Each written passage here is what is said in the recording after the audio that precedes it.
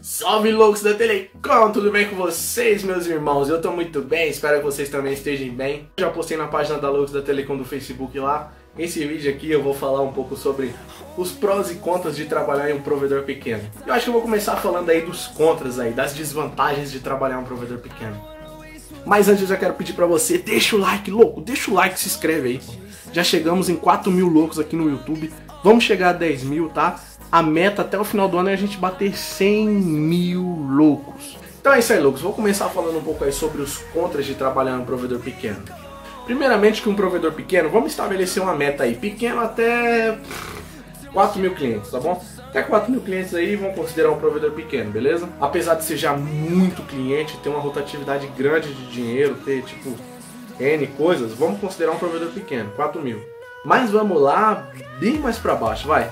700 clientes, 500 clientes. Quem trabalha nessa meta de provedor? Quem é funcionário de uma operadora dessa quantidade de clientes sabe que um dos maiores contras é você ser o único funcionário da empresa. Porque você é, você sabe que você vai ser o único funcionário dessa empresa. Que seu chefe não vai querer contratar outro agora, vai querer contratar outro só mais lá pra frente. Você acaba sendo aquele cara que acaba fazendo tudo. Desde um exemplo, atender um telefone, atender a chamada do telefone, até ir lá fazer a instalação. Tipo assim, você é o cara que vai manjar da rede toda, porque você vai ser o cara da implantação, cara da fusão, cara do rompimento, cara da instalação, você vai ser o cara que vai fazer tudo.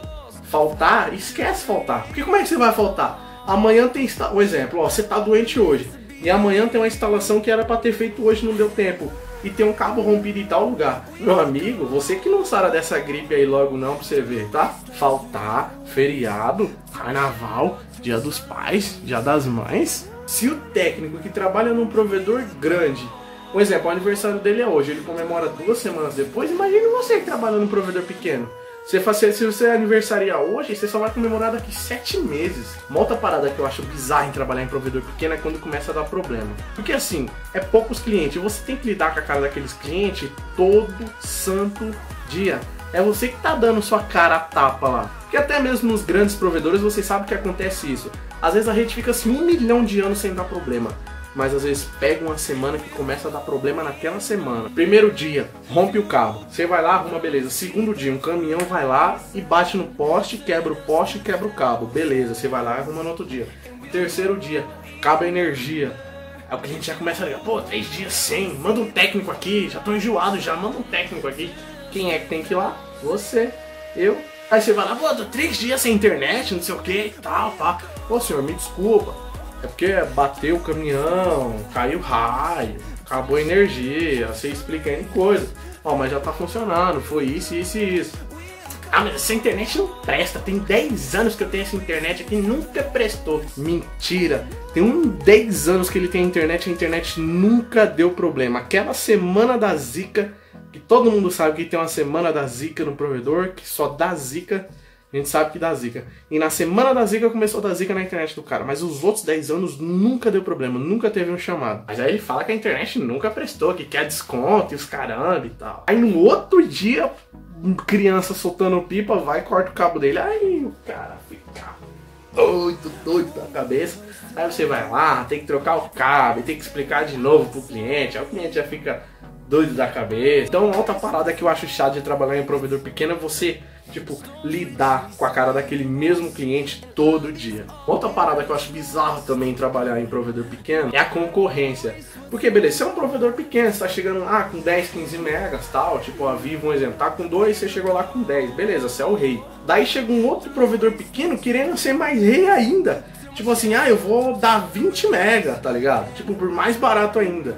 Só que assim, com a internet mais vagabunda que a sua.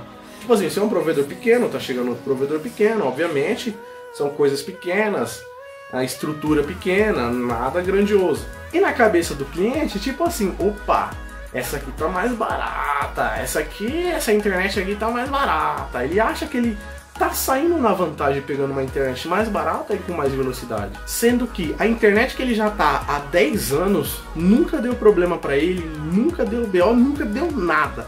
Só que na cabeça dele, ele acha que ele tá pegando uma coisa melhor. Nossa, é mais barato, é mais velocidade. Aí o cara pega, cancela sua internet, que nunca deu problema, só naquela semana da zica, que aí ele já fica puto, né? Ele falou, cancelar essa merda, vou cancelar. Daí cancela, pega a internet nova, a internet nova dá problema no primeiro dia, no primeiro dia a internet nova dá problema. Aí o cara, tipo, mano, quero voltar pra vocês aí e tal, não sei o que. Você como um provedor pequeno não vai ser trouxa, não vai falar, não, vem, vem, vem.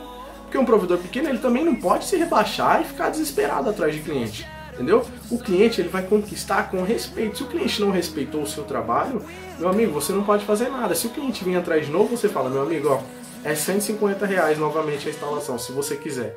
E você tem que ser curto e grosso, infelizmente. Beleza, outra coisa aí que eu falei que eu acho bizarra aí também é esse barato da concorrência aí. Pra galera que assiste meu vídeo aí, que me conhece, que acha, ah, é indireta pra não sei o que, indireta pra não sei o que. Não. Isso são relatos do Brasil inteiro. Vocês sabem que a página são mais de 50 mil pessoas, o alcance é mais de um milhão e meio de pessoas. A gente recebe mais de 100 mensagens por dia. Aconteceu mesmo uh, em Suzano lá, um provedor concorrente tacou fogo no provedor do outro concorrente. Tipo, não é indireta, não é ataque a ninguém, ok? Ok? É o relato que acontece e vocês sabem disso. Outra coisa chata também no provedor pequeno é você trabalhar sozinho e resolver as tretas sozinho e fazer as coisas sozinho. Porque a gente sabe que tem coisa que não dá pra fazer sozinho. Passar um cabo muito difícil, subir em telha do cliente, bater escada em meio de lance e tal. Tem coisa, galera, que a gente sabe que não dá pra fazer sozinho, que precisa de um auxiliar ou que precisa de alguém, mas infelizmente a gente por não ter outra pessoa, pelo provedor ser pequeno e não ter condições talvez de contratar outro funcionário, a gente acaba fazendo sozinho e o chefe vê, ah não, você fez sozinho, então tá bom, então você pode, pode fazer, entendeu? Mas o certo que, que é? Vocês precisam acordar e falar, ó, não, não dá para fazer não. Ou você paga alguém para vir aqui me ajudar a fazer isso aqui, ou vai ficar sem fazer, já era. Porque se você fizer, vai falar, ah, mas você fez aquele lá, você consegue fazer isso aí também, entendeu? Então você tem que acordar nisso aí. Hoje assim, eu trabalho em um provedor pequeno. Mas, tipo, eu tomo conta de umas cinco redes. Tipo, é uma rede aqui, uma rede ali, outra rede em tal lugar, outra rede em tal lugar. Às vezes eu tô numa rede aqui, eu tenho que voltar para ir na rede aqui, aí se dá BO na rede lá, eu tenho que voltar para a rede lá, e se dá BO eu tenho que tomar conta do outro provedor que tá ali. Eu sou um cara mais desenrolado, eu já manjo fazer os Paranauê, eu desenrolo na rua sozinho, tudo que eu precisar fazer.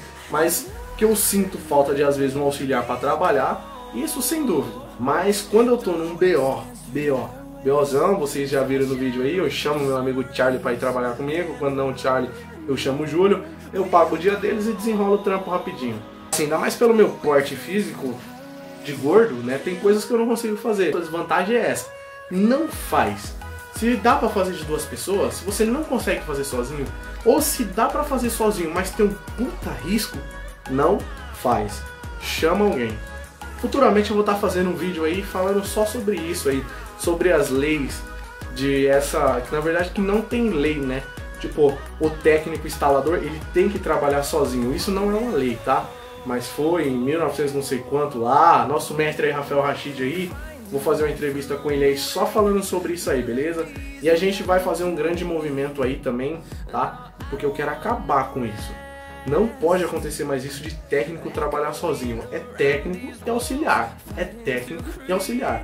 Como é que bate escada no meio de um lance sem ter alguém para segurar lá a linha de vida, segurar a corda, ficar de olho nos carros, em cruzamento? É técnico e auxiliar, beleza? Tem que a gente faz uma reivindicação, vai na porta das empresas, vai fazer panfleto, vai falar com o sindicato, mas isso é uma coisa que a gente precisa mudar. E não é em uma, não é em duas, não. É em todas as empresas. Nós precisamos fazer isso virar lei. Técnico e auxiliar. E assim, estranhamente a gente gosta de tudo isso, né, cara? Infelizmente a gente acaba gostando de tudo isso aí. Eu tô com uma ideia também que eu já vou falar para vocês aqui de antemão, pra galera já começar a mandar e-mail pra gente. Seguinte, eu vou reunir equipes de lançamento, equipes de fusão, equipes de configuração no Brasil inteiro. Vão se cadastrar no site que eu vou estar tá criando, no site ou no app, tá bom? Vocês comentam aqui o que vocês acham melhor no site ou no app e grandes empresas vão procurar vocês no Brasil. Opa, vai ver aqui. Ah, a equipe do Toninho aqui, ó, ele tem uma Kombi, 7 funcionários, consegue lançar até 5 km por dia, até 4 km por dia. 30 km por semana, lançar e equipar para mim. Opa, vou contratar a equipe do Toninho. Aí a empresa vai entrar no aplicativo, vai achar a equipe do Toninho, tá bom? A Loucos da Telecom vai fazer essa ligação entre as empresas e as equipes. O que, que vocês acham dessa ideia? Eu acho que é uma ideia bacana, eu acho que é uma ideia que vai somar e vai agregar para todo mundo. A gente vai estar no meio dessa ligação aí para dar tudo certo, beleza? Entre as empresas e os funcionários e a galera de, de campo, a galera que vai fusionar tal. A gente quer fazer algo de confiança, algo legal, algo no Brasil inteiro. Porque às vezes uma empresa do Pará tem que trazer técnicos de São Paulo ou de outros estados para ir fazer fusão lá. E isso tem que acabar, porque eu sei que no Pará tem técnicos de fusão, então por que, que vai vir pegar em São Paulo? Porque não tem essa ligação. Mas nesse no nosso app ou no nosso site agora vai ter. A empresa vai falar, ah, técnicos não sei o que. Já vai aparecer uma lista para ele lá das equipes disponíveis e tal. Ele entrar em contato. Então já vou pedir de antemão para vocês já começar a mandar e-mail para ldt.louco@gmail.com, tá? É o nosso e-mail aqui da página Loucos da Telecom e do nosso canal oficial do Facebook. Não mandem currículos. Manda a equipe. Ó, eu tenho uma Kombi, ó, eu tenho um Uno, tenho dois caras, sei fazer anel, sei fazer splitagem, sei fazer estrutura, sei montar torre, beleza? Daí a gente vai ver se esse Brasilzão nosso aí, se os nossos técnicos vão ficar desempregados. E se esse Brasilzão nosso não vai crescer aí na área de telecomunicação. Aqui em São Paulo aqui eu já tenho muita gente, tá? Muita gente de fibra, de lançamento, de N coisas aqui, tá? Eu quero o resto do Brasil. Até se você já estiver precisando aqui de serviços aqui em São Paulo aqui, você empresa que precisa lançar fibra aqui em São Paulo, tá?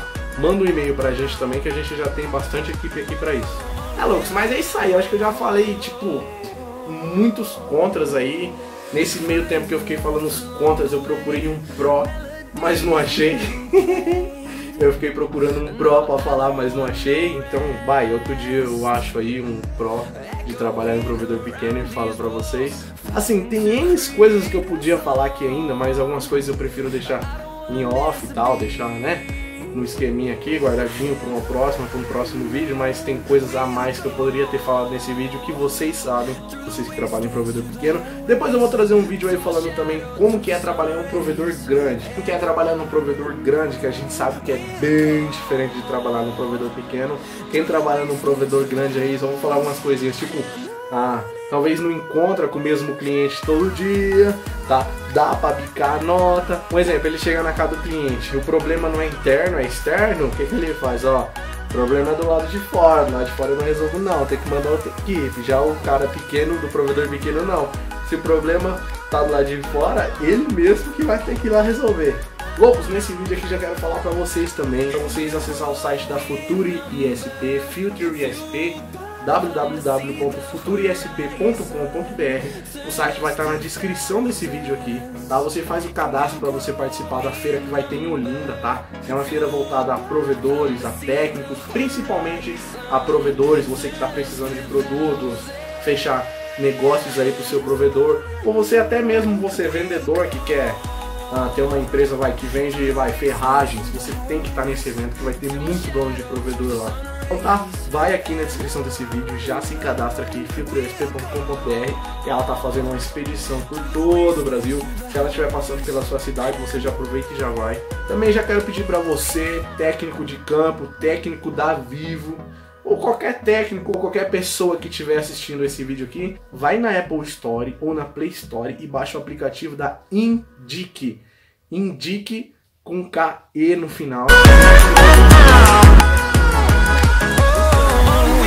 E aí, louco, salve! Então, deu B.O. no vídeo aqui, mano, no final desse vídeo aqui, tipo, quando eu tava fazendo a propaganda aqui da Indique e tal, mandando vocês baixar o app da Indique e se inscrever no canal, eu fiz uma cagada que eu deixei a música muito alta aí, me desculpa aí, eu vou finalizar esse vídeo aqui agora bonitinho, beleza? E eu perdi o projeto, eu ia refazer, mas eu perdi o projeto. Então tô regravando aqui o finalzinho desse vídeo aqui. Se inscreve no canal, deixa o like aí, por favor. Deixa o like, se inscreve mesmo aí, beleza? Vai vir bastante conteúdo bacana. Já logo em seguida desse vídeo eu já vou postar um outro vídeo aqui de um rompimento que teve hoje, uma troca de poste, beleza? E sobre o app da Indique, baixa aí agora o aplicativo da Indique na Apple Store ou na Play Store, tá bom? Pra você começar a ganhar dinheiro com esse aplicativo aí, fechou? É nóis, loucos da Telecom.